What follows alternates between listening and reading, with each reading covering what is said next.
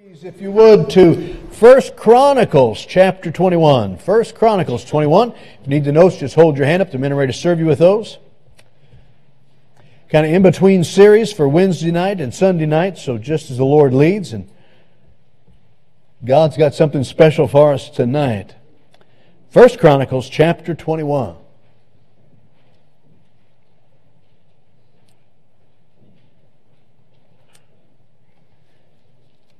Looking at the sin when David numbered the people. Nothing wrong. There's nothing unscriptural about taking a census, all right? There's nothing wrong with that. The issue was his motive. The issue was his heart.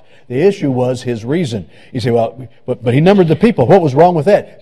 God's got a whole book in his Bible called Numbers, all right? God's not against numbers. God's not against counting people. I mean, he does that all the way through. But it was the, David's heart, it was David's attitude. But we're going to learn some things that'll help, and I believe it'll salvage some homes, it'll salvage some lives, if we'll let it just speak to us tonight. So, First Chronicles 21. I hate to read so much, but we need the entire story. So, uh, Monday's a holiday anyway, so you can rest up then if you don't get any rest tonight. So, verse number one, First Chronicles 21, and Satan stood up against Israel and provoked David to number Israel. And David said to Joab and to the rulers of the people, Go, number Israel from Beersheba even to Dan, and bring the number of them to me, that I may know it. And Joab answered, The Lord make his people an hundred times so many more as they be, but, my lord the king, are they not all thy Lord's servants? Why then doth my Lord require this thing? Why will he be a cause of trespass to Israel? Nevertheless, the king's word prevailed against Joab, wherefore Joab departed and went throughout all Israel and came to Jerusalem. Verse number seven. And God was displeased with this thing, therefore he smote Israel. And David said unto God, I have sinned greatly because I have done this thing. But now I beseech thee, do away the iniquity of thy servant, for I have done very foolishly. And the Lord spake to Gad, David's seer, saying, Go and tell David, saying, Thus saith the Lord, I offer thee three things. Choose thee one of them, that I may do it unto thee. So Gad came to David and said unto him, Thus saith the Lord, Choose thee either three years' famine, are three months to be destroyed before thy foes, while that the sword of thine enemies overtaketh thee, or else three days the sword of the Lord, even a pestilence in the land, and the angel of the Lord destroying throughout all the coasts of Israel. Now therefore advise thyself what word I shall bring again to him that sent me. And David said to Gad, I am in a great strait. Let me fall now into the hand of the Lord. For very great are his mercies, but let me not fall into the hand of man. So the Lord sent pestilence upon Israel, and there fell of Israel seventy thousand men. And God sent an angel unto Jerusalem to destroy it. And as he was destroying, the Lord beheld, and he repented him of the evil, and said to the angel that destroyed, It is enough. Stay now thy hand. And the angel of the Lord stood by the threshing floor of Ornan, the Jebusite. And David lifted up his eyes and saw the angel of the Lord stand between the earth and the heaven, having a drawn sword in his hand, stretched out over Israel, or Jerusalem. Then David and the elders of Israel, who were clothed in sackcloth, fell down, or fell upon their faces. And David said unto God, Is it not I that commanded the people to be numbered? Even I it is that have sinned and done evil indeed. But as for these sheep, what have they done? Let thy hand, I pray thee, O Lord my God, be on me and on my father's house, and not on thy people, that they should be plagued. Then the angel of the Lord commanded Gad to say to David that David should go up and set up an altar unto the Lord in the threshing floor of Ornan the Jebusite. And David went up at the saying of Gad, which he spake in the name of the Lord. And Ornan turned back and saw the angel, and his four sons with him hid themselves. Now Ornan was threshing wheat. And as David came to Ornan, Ornan looked and saw David and went up, went out of the threshing floor and bowed himself to David with his face to the ground. And David said to Ornan, Grant me the place of this threshing floor, that I may build an altar therein unto the Lord, thou shalt grant it me for the full price, that the plague may be stayed from the people. And Ornan said unto David, Take it to thee, and let my lord the king do that which is good in his eyes. Lo, I give thee the oxen also for burnt offerings, and the threshing instruments for wood, and the wheat for the meat offering. I give it all. And King David said to Ornan, Nay, but I will verily buy it for the full price. For I will not take that which is thine for the Lord, nor offer burnt offerings without cost. So David gave Ornan for the price six hundred shekels of gold by weight. And David built there an altar unto the Lord, and offered burnt offerings and peace offerings, and called upon the Lord. And he answered him from heaven by fire upon the altar of burnt offerings. And the Lord commanded the angel, and he said, and commanded the angel, and he put up his sword again unto the sheath thereof. Father, help us tonight. Lord, I know that you're the same God. I know that we're the same kind of people as David was. So, Lord, I pray that you would help us tonight to understand the battle that we're in, that we'll understand the dangers that we may be in, that we would make some decisions tonight that would protect us, protect our families, Lord, and put us on the right path and keep us on the right path. Lord, I ask that you put a hedge of protection about our church and church families. So easily can we falter. So easily can we get ourselves away from you. So, Lord, open our eyes. Holy Spirit, convict us, show us, teach us, build us, Lord, that we might leave here a stronger people. In Jesus' name we pray. Amen. Thank you. you may be seated.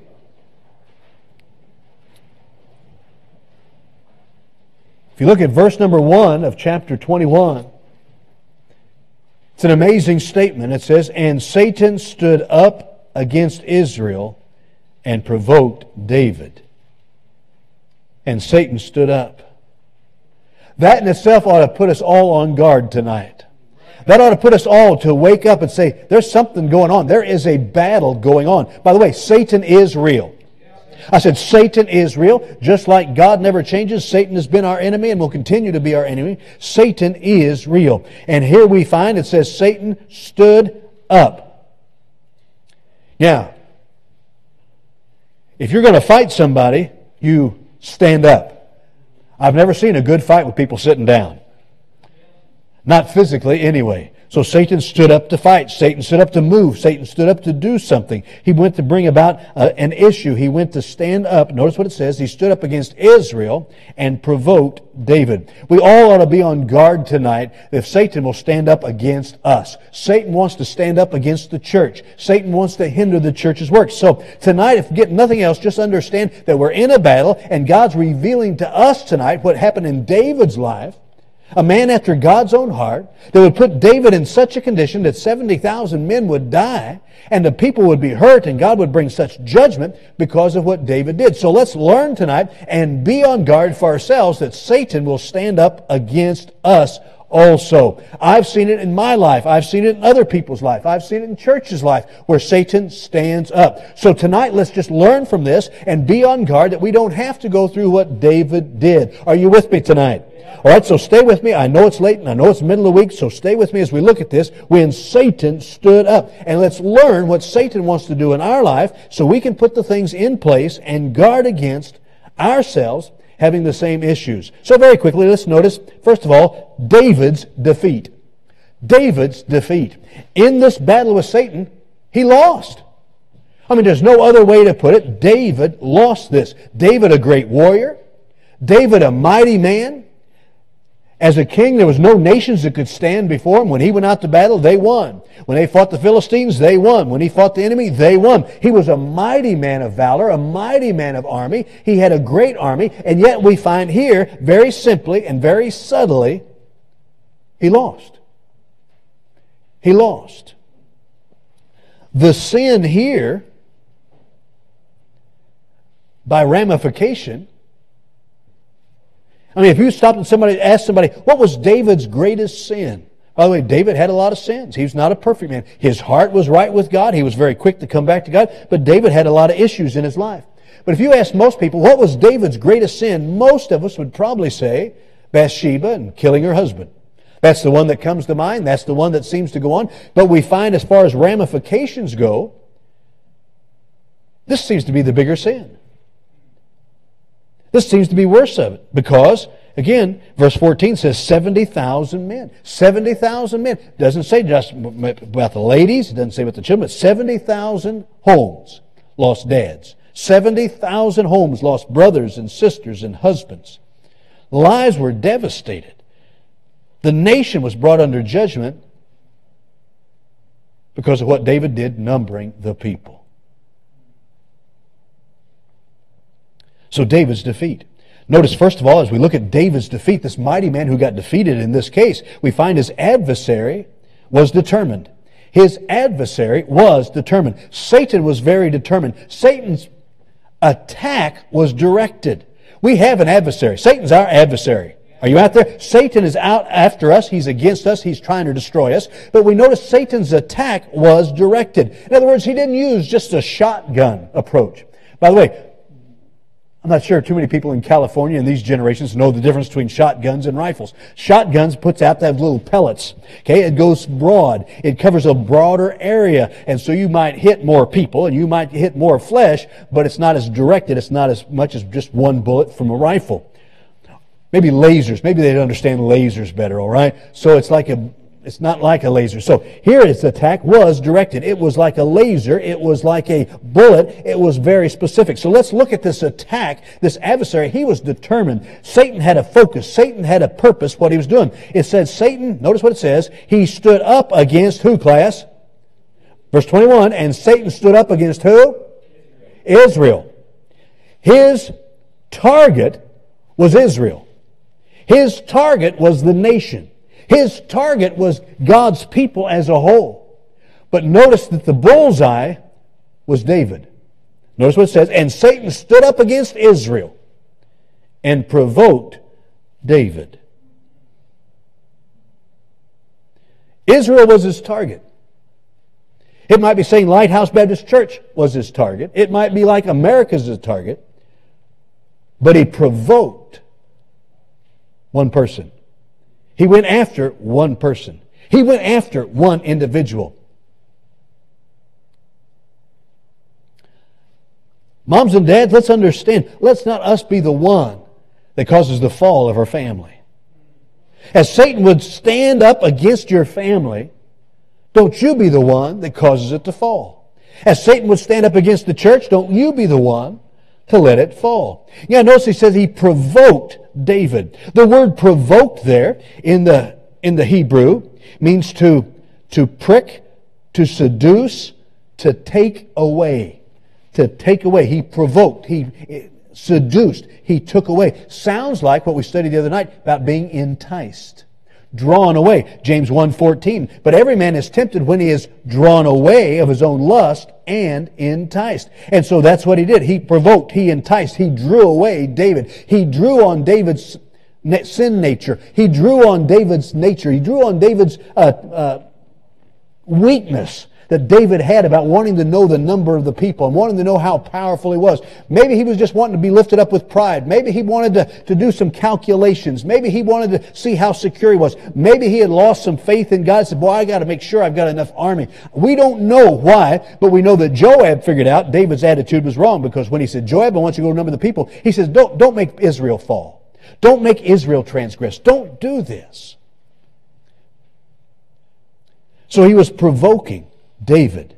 Israel was the target, but David was his bullseye. Because David was the leader.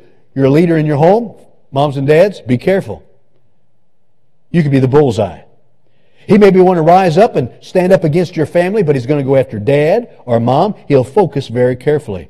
So we notice David's defeat. His adversary was determined. He said, I know who I'm after. I know what I'm doing. He stood up to do a fight. He just didn't stand around. He stood up for the attack. But secondly, we find in David's defeat, his giants were dead. His giants were dead. Go back to chapter 20 and in verse number 6. Heading in, again, the divisions in the Bible, the chapter divisions, they're not inspired. They're just put there by man to help us keep track of where we are. So we read through many times, we miss, by stopping at the end of a chapter, we miss the, the context. So in chapter 20, verse number 6, and yet there, again, there was war at Gath. where a man of great stature, whose fingers and toes were four and twenty, six on each hand and six on each foot. And he also was the son of a giant. We know also who else came from Gath? Goliath, all right? So these were big guys. These were giants. Gath had a, had a lot of giants in it. And so here we got a guy who had six, six toes on each foot, six fingers on each hand, and a great man. Verse number seven. And when he defied Israel, Jonathan, the son of Shema, David's brother, slew him. These were born unto the giant in Gath, and they fell by the hand of David and by the hand of his servants. So they had just fought another battle with a bunch of giants, a bunch of huge men that had been men of battle and very strong. And so David and his men, they defeated those giants. And he goes right on. And the next verse says, and Satan stood up against Israel. So Satan's standing up against Israel and right after the defeat of the giants. Right after David's giants were dead. Right after the battle with the giants were done. Then Satan stood up. Right after a great victory. Often in times in the Bible, the enemy comes strongest after a great victory. David had had his battle with the big boys. It was Goliath and then these giants, these great men, he had had his battles. Yeah, battling giants, battling big armies, battling these big fellows, that was something he, David could understand. You could see him coming. You could hear him coming. They were all over you. The issues were there. So it is in our life. Big temptations come. It's those times of quiet that we've got to be careful. Big trials come. See, a lot of times when the big trials come, whether it be disease or heartache or finances, well, we're ready for that. We understand Satan is attacking. We understand the battle. When they come in and the lawyers come call us and all those things, we understand those battles and we're ready. But now, after the giants were dead, Satan stood up and provoked, enticed, drew away David.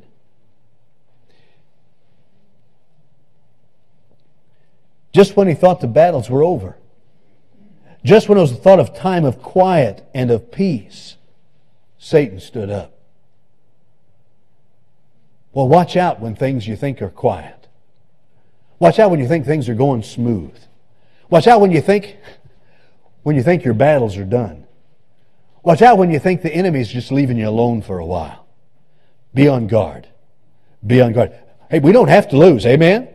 We don't, but here it was. The giants were dead. His adversary was determined. He thought it was over. He thought it was all safe, but it was not. That's when Satan stood up. So after David defeated Gath, and his servants defeated Gath and defeated the giants, and the giants were dead, then and Satan stood up against Israel and provoked David to number. So the enemy of the giants couldn't do it, but he says, Satan says, I got another way. I'm going after David. Not only David's defeat, the adversary was determined the giants were dead, but his defenses were down. David's defenses were down. Well, we can't let down our defenses.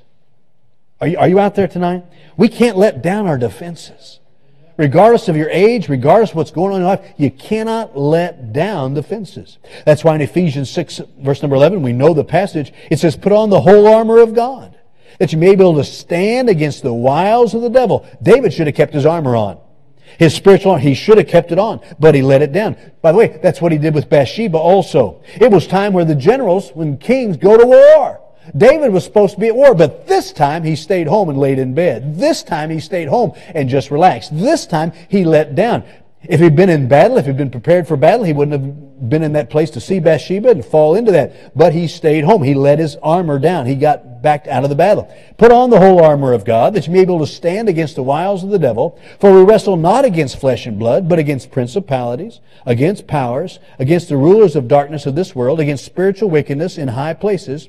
Wherefore take unto you the whole armor of God that you may be able to stand be able to withstand in the evil day, and having done all to stand. We don't know when that day is coming. That's why you got to keep the armor on. We have to keep the armor on all the time. We have to keep the sword of the Spirit available all the time. As soon as we get up and say, well, I don't need the armor today, you'll need it. As soon as I say, I don't need the sword of the Spirit tonight, you will need it. And so David here, the, gen, the, the giants were dead. It was a time of peace, but oh, Satan stood up and provoked, drew away David. We don't find David in this passage praying until he had to pray to get forgiveness. We don't see him focused on what he was doing. We find David defeated. How sad. A great man of war defeated.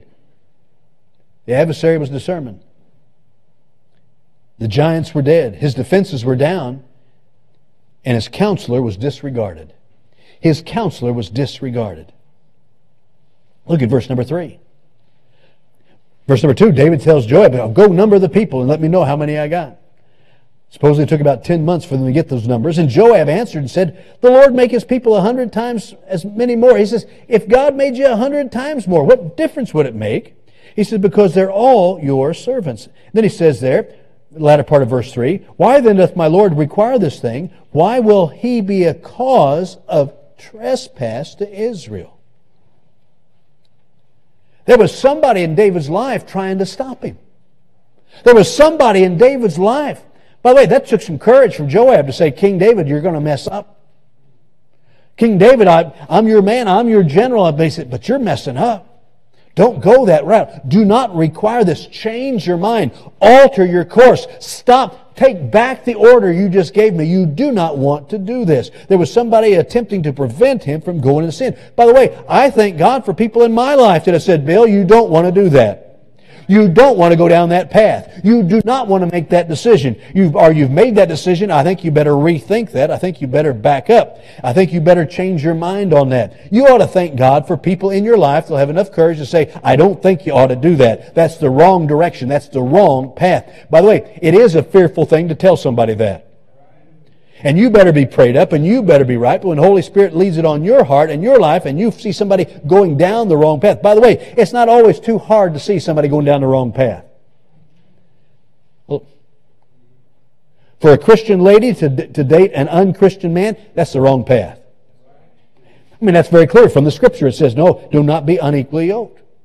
For a man to go after, for a Christian man to go after an unchristian woman, wrong direction. Wrong direction. Shacking up together, wrong direction. Taking alcohol, wrong direction. Taking those decisions, wrong. It's many things we can see in somebody else's life. That's the wrong direction. And we need to be people who, by the right spirit, with love, guarding our own selves lest we be tempted, be willing to help somebody that we're supposed to love and somebody we're supposed to be watching out for to say, no, don't go there. So I thank God for preachers in my life as I was growing up in the Christian faith, as I was growing and learning the Lord. They said, no, Bill, you don't want to do this. You don't go down this path. You don't tread that way. You stay on the right. You stay on the as we saw a few weeks ago, the straight and narrow, because that leads to blessings, that leads to life. So there was an attempt of somebody who tried to prevent him. So thank God for pastors that'll preach it straight. Thank God for teachers in the Bible classes or anywhere else that say, no, this is not right. And for, for spouses, they'll say, I think you're going down the wrong road. Let's don't go that path. And so he disregarded his counselor. His counselor said, no, don't do it. But we find his arrogance prevailed. His arrogance prevailed. So in verse 3, Joab says, don't do this. He said there's no reason to do it. Again, God's not against the numbers. God counts people all the time. But his heart was wrong. He says, don't do this. Why cause trespass to Israel? Nevertheless, the king's word prevailed against Joab. By the way, that's not a surprise. If the king wanted to do it, the king's going to do it, all right? Joab was on the verge of getting his head cut off just by bringing it up. So the king's word prevailed. Guess what? Your word will prevail also. Moms and dads, how many times have we had our hearts broken because we've tried to tell our kids? We've tried to help them. Their word prevailed. They're going to do what they're going to do. That doesn't mean you have to let them. It's a hard thing to tell your child, not in my house. You can't do that. Well, I'm going to do that. Not in my house. That's a hard thing. It's a hard thing. But they're going to do what they're going to do.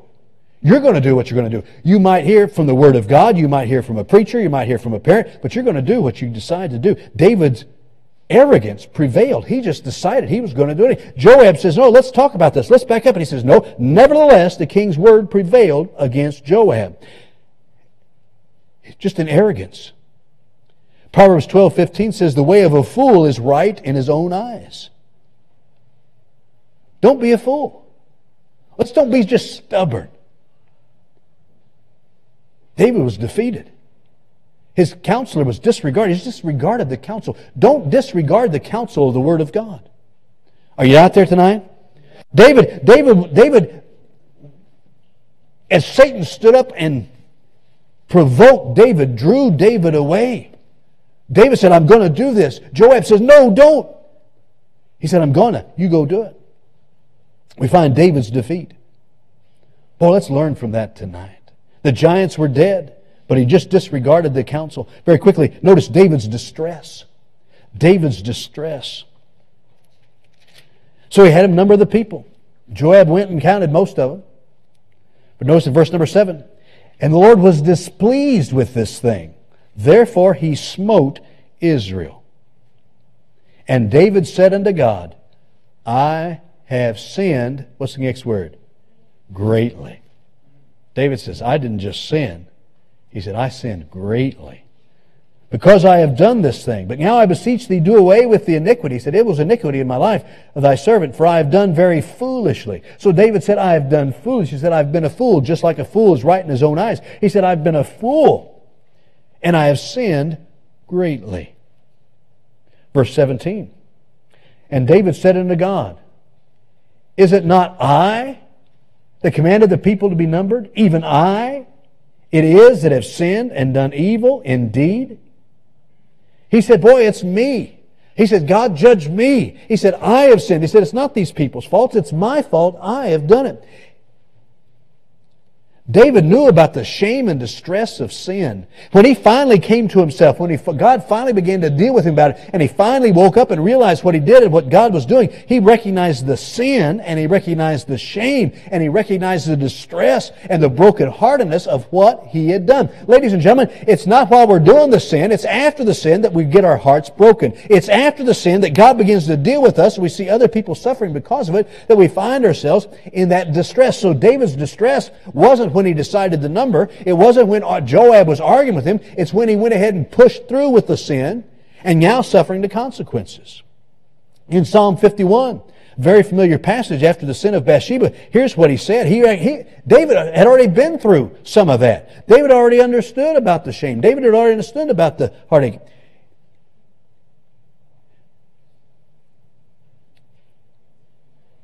Have mercy upon me, O God, according to thy loving kindness, according to the multitude of thy tender mercies. Blot out my transgressions. Wash me thoroughly from mine iniquity. Cleanse me from my sin, for I acknowledge my transgression. Against thee and only have I sinned. Boy, David knew about that shame of sin. So David's distress. We find David was distressed about the core of his sin. About the core of his sin. You say, what are you talking about? The fact that he sinned against God. It was sin against God.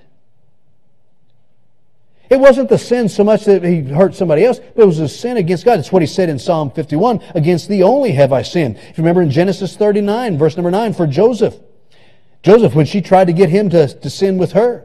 There is none greater in this house than I, neither hath he kept back anything from me but thee, because thou art his wife. How can I how then can I do this great wickedness and sin against God?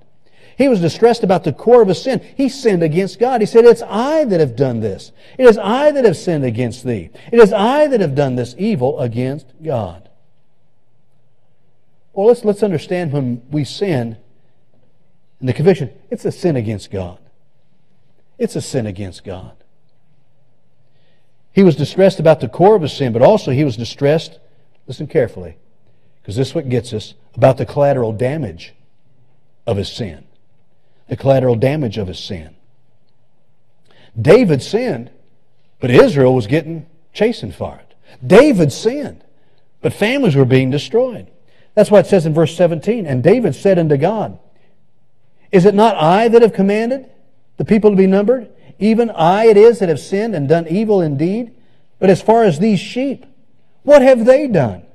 Let thy hand, I pray thee, O Lord, my God, be on me and on my father's house, but not on thy people, that they should be plagued. He was distressed because the people were being hurt. He was distressed because of the collateral damage of the people. Now, when we sin, we sin against God, but we hurt other people.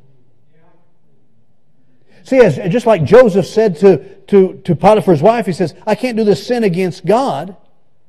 He said, the sin's against God. He said, but I don't want to hurt my boss. I don't want to hurt you. I don't want to hurt my testimony. Here is David sinned against God, but there was collateral damage to his sin.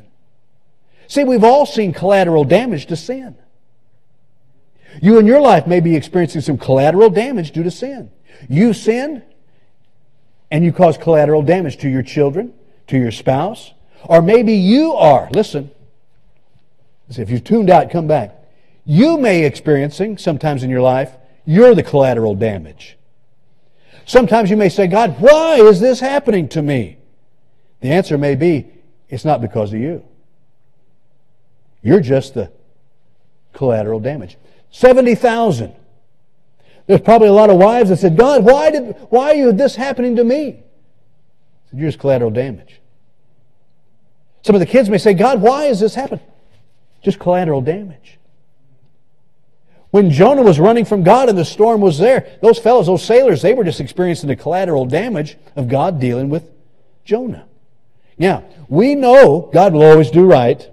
Don't get mad at God. He will always do right. But also we know the Bible tells us in Romans 8, 28, all things work together for good to them that love God and called according to his purpose. So even if we are sometimes collateral damage to somebody else's sin as a nation or as a group, or as a person, God can still work it for good. Amen. If we're loving God and doing what we're supposed to do. But we find it was collateral damage. David was heartbroken. He said, because of the collateral damage, he said, it was me. Don't hurt them. How can this be? Many times in our life, if we're not careful, we will, as Satan stand up against us, we'll go into sin, and what will break our heart down the road is what it did to our kids, what it did to our family, what it did to somebody else.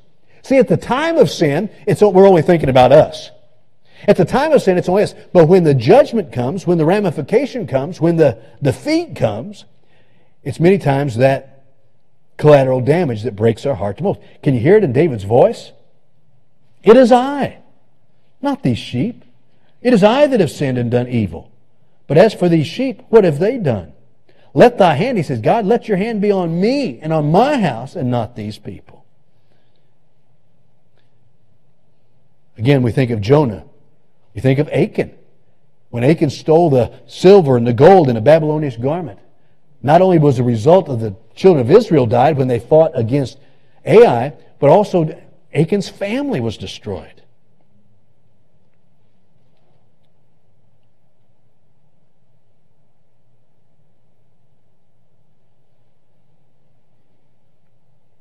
So let's be careful that we see the distress. The core of his sin was against God. He said, I did this wrong. He said, but the collateral damage was he was distressed about. Very quickly, notice David's dilemma. David's dilemma. Verse number 12. When I first read this, and years ago I've been thinking, I thought, well, that, that will never happen to us. It does happen to us, only on a different flavor. Look at verse number 12. So here, here's his choice. He says, choose thee. Verse 11, God, God sent Gad, the preacher man, to come to David and said, get to choose three judgments, three chastenings. He said, you choose. Either three years famine, or three months to be destroyed before thy foes, while that the sword of thine enemies overtaketh thee, or else three days of the sword of the Lord, even the pestilence in the land, and the angel of the Lord destroying throughout all the coast of Israel. Now therefore advise thyself. I like that. He says, figure this out. He says, you advise yourself what word I should get, bring again to him, God, that sent me.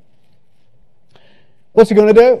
He said, I give you, here's your three chances. He said, all right, judgment's coming. You got three choices. Three choices of what your punishment's going to be. Three choices of what the chastening is going to be. In many respects, we don't get to choose God's chastening. But listen carefully. Many times, we do. And our choice on what's going to happen is based on our response to God. Are you listening to me? Our response to the sin, our response to the conviction, how we respond often determines how God needs to judge. Often responds on how what's going to happen. For example,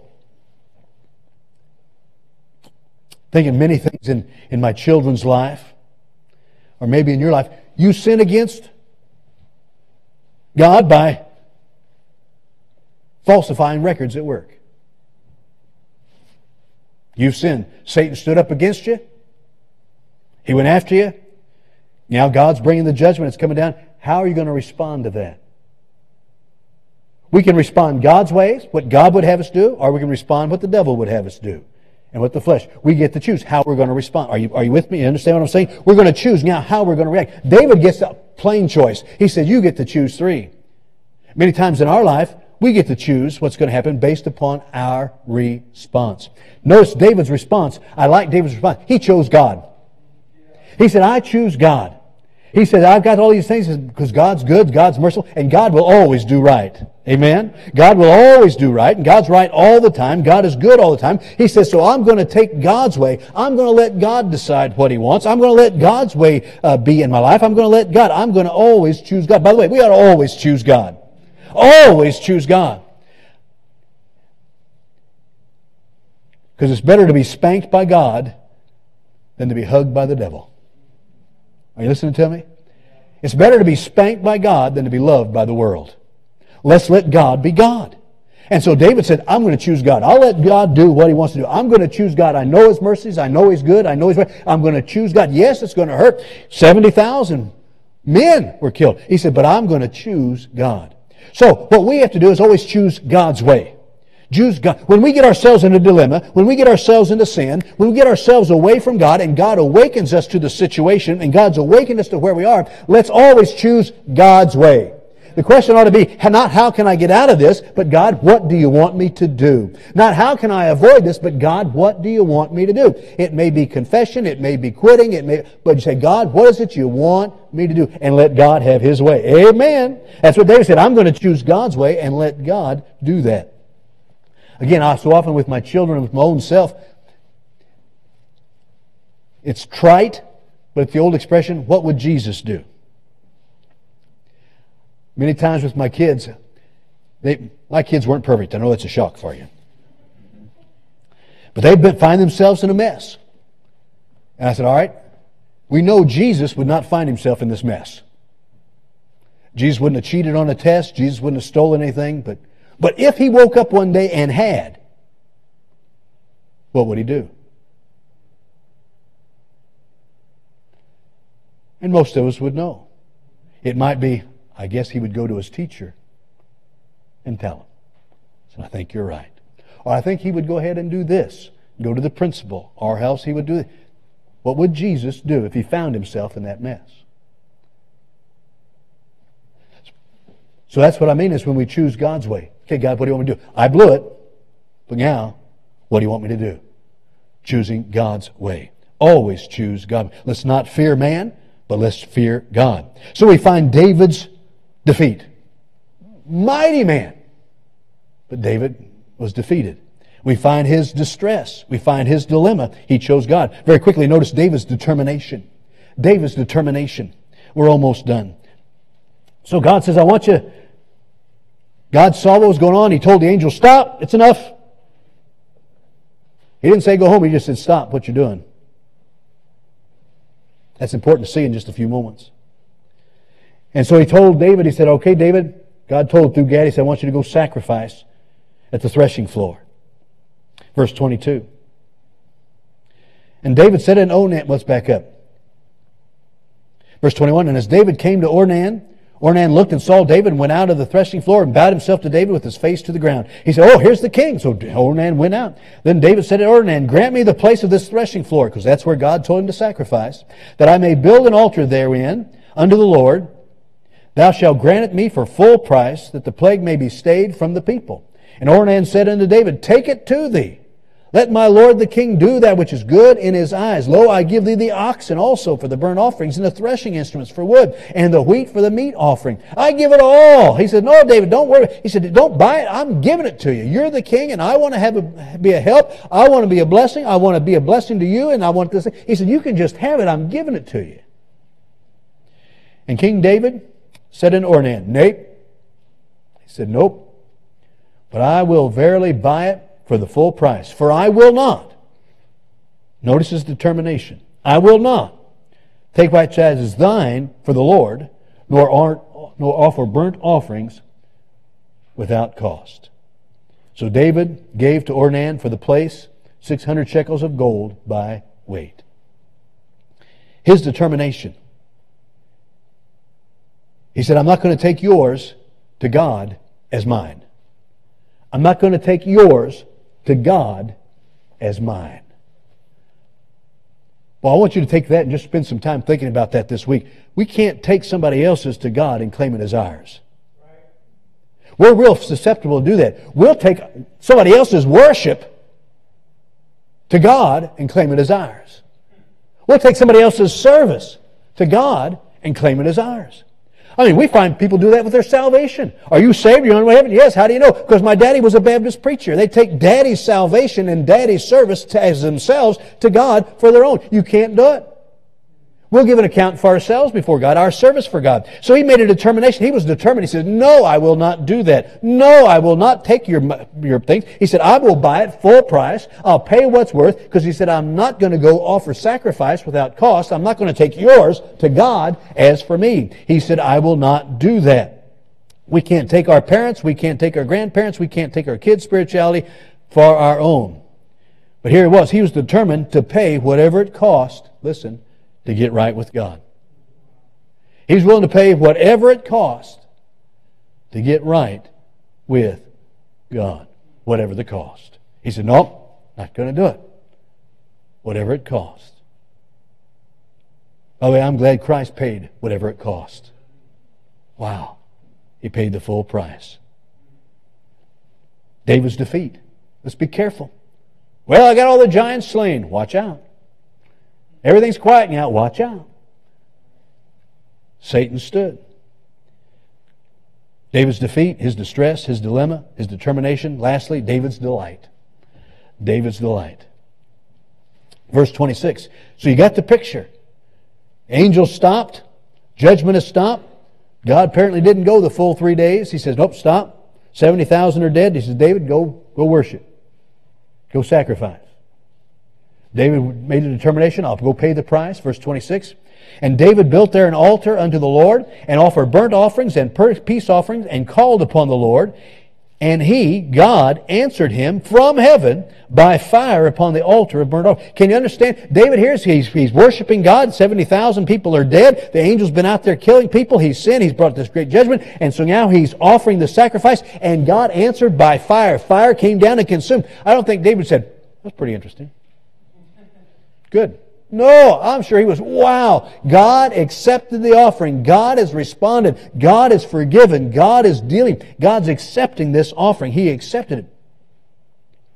Verse 27, And the Lord commanded the angel, and he put up his sword again into the sheath thereof. One last thought. It was only after his restoration that the angel put the sword away. It was still drawn. It was still over Jerusalem. God said, Wait, David, I want you to go sacrifice. David was there, and he still, hey, they men still saw the angel standing over Jerusalem with the sword. If David hadn't sacrificed, I think God would have said, Okay, continue. But it was only after the sacrifice, only after his obedience, only after him paying the price, only after him paying the cost, and only after God then replied from heaven with the fire, he said, okay. So as I was thinking about that, I was thinking in my life or in your life, don't quit till the sword's back in the sheath. How many times have you seen, and again, I always refer to kids because kids is just us and not so bad. The kid starts to get right, but stops short. And then you, as a parent, have to say, no, you didn't do it. Let's make sure we do what we need to do to be right with God. To the place where the sheath goes away. Not, okay, God, uh, sometime soon. Maybe some of it. No. David paid the price, offered the sacrifice, was obedient. God sent the fire and was accepted. Then he told the angel, put it away. Let's don't live any part of our life with the angel still waiting there with the sword. Waiting for us to get right. Waiting for us to make the change. Waiting for us to get right with God. No, no, no. Let's go all the way to where and the angel commanded the angel, And he put his sword again into the sheath thereof. It's a dangerous time to stand there while the angel's waiting. Let's get it right. Let's pray. Father, we thank